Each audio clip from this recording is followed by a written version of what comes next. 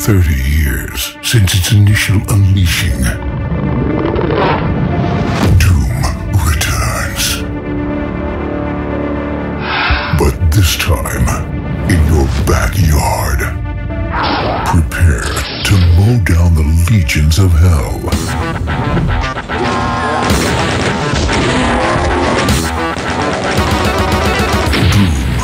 Husqvarna. Playable on Husqvarna robotic lawnmowers. Worldwide release April 2024.